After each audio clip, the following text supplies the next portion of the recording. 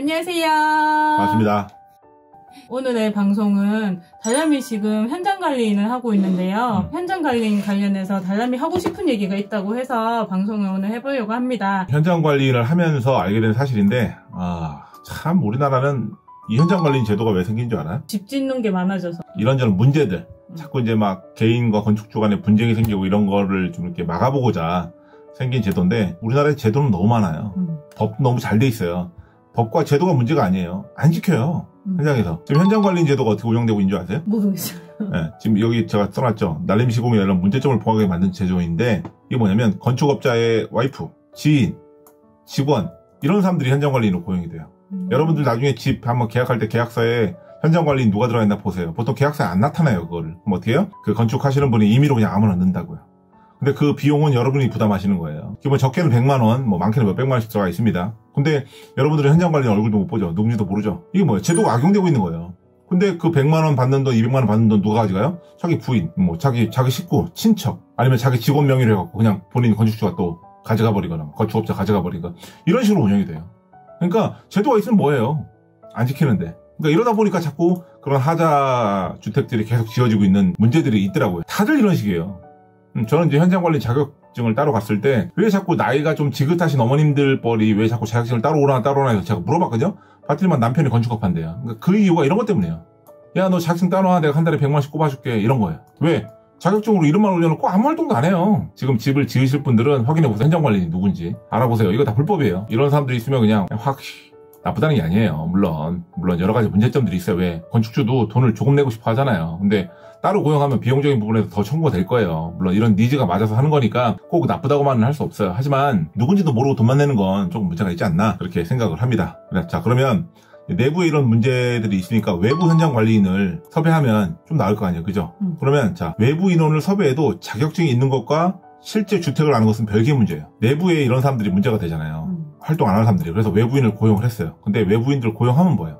이 사람들이 집을 지어본 적이 없는 현장 관리인들이에요. 그러니까 집이 어떻게 되는지 몰라요. 그러니까 가요 현장에 가. 가서 멀뚱멀뚱하고 사진 몇 장 찍어요. 그리고 건축주한테 보내줘요. 끝. 이게 하는 일의 전부예요.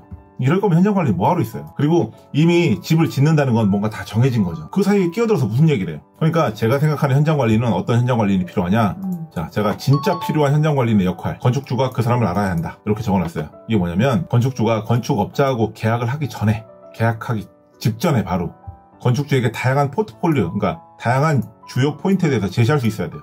예를 들면, 뭐, 기초의 동결심도라든가, 배근이라든가. 이거 아세요? 배근도 이거 저 할 말 많습니다. 이거 단배근, 복배근인데, 이건 제가 나중에 한번 따로 다룰게요. 이거 여러분들 이것도 몇백만씩 뜨기 계세요, 지금. 모르니까. 그리고 이제 저희가 최근에 방송 찍었던 방수 비닐. 그죠? 그 다음에 뭐 EPS 들어가는 것들, 그 다음에 이제 EPS 종류별로 좀 다르잖아요. XPS가 있고, EPS가 있고, 그 다음에 두께라든가 이런 것들, 그다음에 방통, 단열, 시공 방법이나 디테일 등. 이런 것들을 현장 관리인이 건축주한테 advice를 해줄 수 있어야 돼요. 음. 계약하기 전에. 왜냐면, 예를 들어서 건축업자하고 계약서 다 쓰고 사인하고 처음에 계약금 입금했어요. 그 다음에 바꾸잖아요? 그럼 건축업자가 뭐라고 주세요? 돈 더 주세요. 네, 해드릴게요. 돈더 주세요. 이렇게 나온다고요. 그렇게 고용하시면 다 늦어요. 그래서 현장 관리를 고용하실 때 첫 번째, 뭘좀 아는 사람을 고용하셔야 되고요. 두 번째는 뭐냐면, 그 건축업자하고 계약하기 전에 먼저 협의를 하셔야 돼요. 그래서 건축 코디네이터라고 하잖아요. 이런 부분에 대해서 advice를 받으셔야 돼요. 제가 이제 두 번째 얘기하는 건 주요 공정에 대한 이해가 있고, 건축업자와 건축주 사이에서 조율자가 되어야 돼요. 보통 저희가 방송에서 많이 언급하지만, 뭐 해주세요, 뭐 이거 해야 된다는데요. 그러면 건축업자분들 뭐라고 한다? 에이, 안 해도 돼요. 에이, 안 해도 돼요. 이 말에 여러 의미가 있어요. 첫 번째, 음. 하기 귀찮거나, 음. 본인이 해본 적 없거나 이 둘 중에 하나예요 보통. 해본 적이 없으니까 하기 싫은 거예요. 왜 귀찮거든? 신경 써야 되고 확인해 봐야 되니까. 근데 여러분들 필요하다고 느끼면 계약 당시에 요구하셔야 돼요. 그리고 계약서에 들어갈 때 어떻게 들어가야 되는지 이런 부분들을 조금 구체적으로 얘기를 해줄 수 있어야 되는데 보통 그냥 다 이런 식으로 넘어간다고요. 현장 관리인 있는지도 모르고. 좀 뭔가를 아는 현장 관리인을 고용하면 좋은 점이 뭐냐면 집을 짓고 났다 보면 우리도 그렇죠. 좀 아쉬운 게 있죠. 음. 아 참고 여기도 좀 미리 위치를 잡아놨으면 돈이 좀 덜 들었겠네. 그죠? 기초라도 집 타설할 때 미리 좀 해놨으면 그죠? 수정 같은 거라든가 아니면 뭐 담장 쌓을 때라든가 이런 것들 좀 아, 정리를 미리 해놨으면 배수로 같은 것도 이렇게 길도 좀 미리 파놨으면 좀 편했겠는데 이런 것들은 어때요?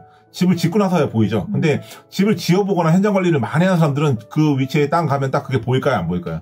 보여요 어느 정도. 그러면 외부 수전, 출입구에 세면대. 요새 코로나 때문에 손 많이 씻잖아요. 출입구 쪽에 세면대 만들어 놓으면 되게 편해. 우리 만들었죠. 그렇죠. 그죠? 이런 것들. 그 다음에 열교환기. 음. 그죠? 이런 것들 왜 필요한지. 그다음에 외부 연결, 창고 위치 선정 이런 것들 미리 창고를 어떻게 할 건지를 위치를 정해주면 나중에 공사할 때나 시공할 때 되게 편리하게 이용할 수 있어요. 그러니까 밖으로 나가서 창고를 가는 게 아니라 뒷문, 그러니까 정문이 아니라 뒷문 쪽에다가 창고를 연결하는 식으로 미리 계획을 하고 집을 지으면 집 안에서 창고를 바로 갈 수 있잖아요. 건축 코디네이터나 이런 것들을 할 때 이런 것들을 여러분들한테 advice 해드린 거예요, 제가. 근데 이런 것들을 모르는 사람들이 그냥 가서 멀뚱멀뚱 있다가 한 뭐 일주일에 한 두번 갖고 사진 찍고 200만 원, 300만 원 달라 그런다고요. 이런 사람들 되게 많아요. 그 외부 인력을 섭외해도 특히나 이거 정화조 위치. 어떤 분이 집을 이렇게 잘 지으셨어요.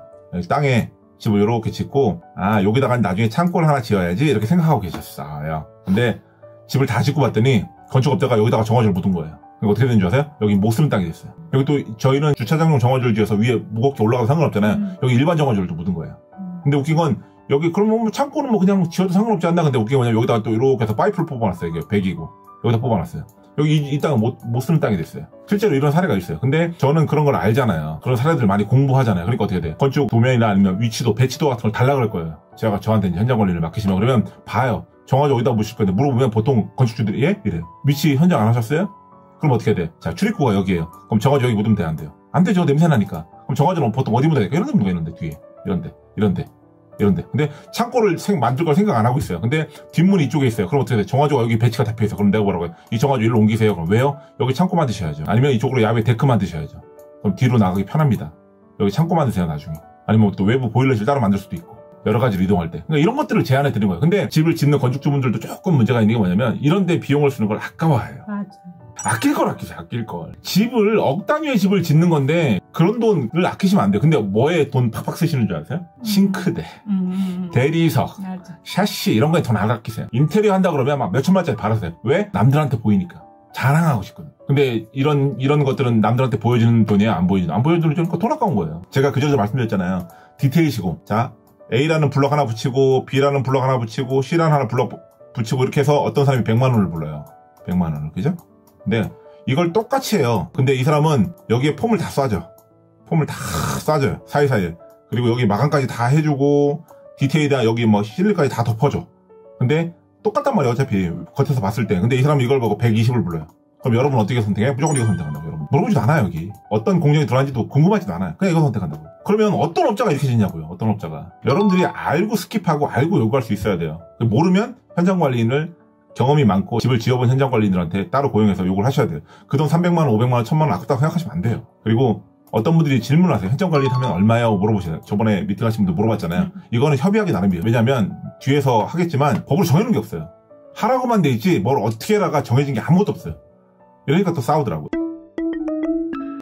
현장 관리인과 건축, 이 건축 코디네이터 제도는 없는 겁니다. 저희가 그냥 만든 거예요. 현장 관리인과 건축 코디네이터 제도는 앞으로 꼭 시행이 됐으면 좋겠어요. 그래야지만 여러분들이 막 뭐 날림 시공, 뭐 누수, 치마, 결로, 부식, 납기, 뭐 난방비 폭탄, 뭐 추가 비용 소송 이런 문제 이런 다양한 문제들에 대해서 조금 이런 것들이 안 생긴다는 얘기가 아니에요. 뭐 현장 관리인이 슈퍼맨이 아닙니다. 만능이 아닙니다. 하지만 좀 줄일 수 있다는 거예요. 왜? 사전에 이런 부분들에서 체크하고 들어가잖아요. 그러니까 문제 생길 게 없어요. 근데 게 그렇잖아요. 뭔가를 하다가 이렇게 하기로 해놓고 이렇게 바꾸면 여기 업자들 무조건 돈 더 달라 그래요. 근데 입장 바꿔놓고 하면 이게 나쁜 거예요? 아니에요. 시공이나 납기나 공기가 바뀌면 당연히 돈을 더 줘야 돼요. 그래서 이런 것들을 사전에 좀 체크할 수 있으면 비용도 줄일 수 있다. 그래서 조금 똘똘한 현장 관리인들 만나면 그 비용 주는 것만큼 나중에 얻어가시는 것들이 더 생기니까 이런 현장 관리인 제도를 잘 활용하시고 그다음에 현장 관리인 제도가 되게 악용되고 있구나. 최근에. 그 비용은 근데 내가 내고 있구나.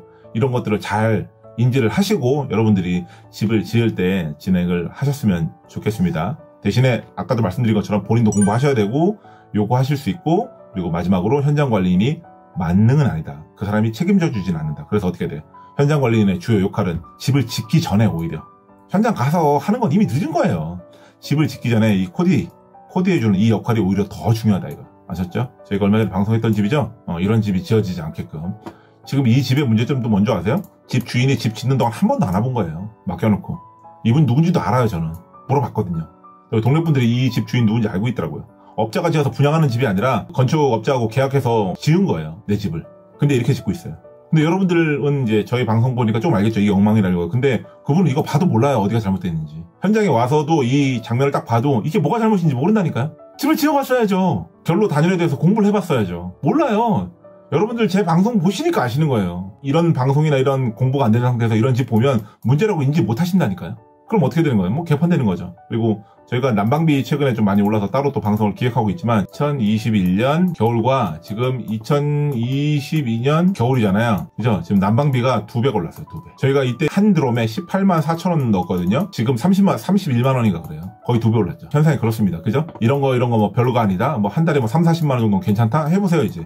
이제 60만 원이네? 여기서 더 오르면 어떡할 거야? 90만 원이네? 그래도 괜찮은지 한번 계속 이분들 한번 계속 버텨보시라고요. 안 괜찮아요. 1, 2년은 괜찮죠. 그게 20년, 30년, 40년, 50년 쌓여서 모이면 수억에 수억, 수천만 원, 수억이라고요. 겨울에 추운 집은 여름엔 어떨까요? 더워요. 본인이 진짜 많이 공부를 하시고 본인이 진짜 현장에서 아예 24시간 붙어서 하시는 게 제일 좋고요. 그게 안 되면 본인이 공부를 하시고 좋은 현장 관리를 고용하세요. 이 두 가지 방법 외엔 답 없습니다. 어떤 걸 하든 본인이 공부를 하셔야 돼요. 본인이 현장 관리를 고용을 해도 알아야 시키죠. 식당에서 내가 주인이에요. 근데 주방장을 하나 데리고 와서 일을 시켜야 돼요. 근데 주방장이 알아서 다 해요. 막 일도 되게 잘해.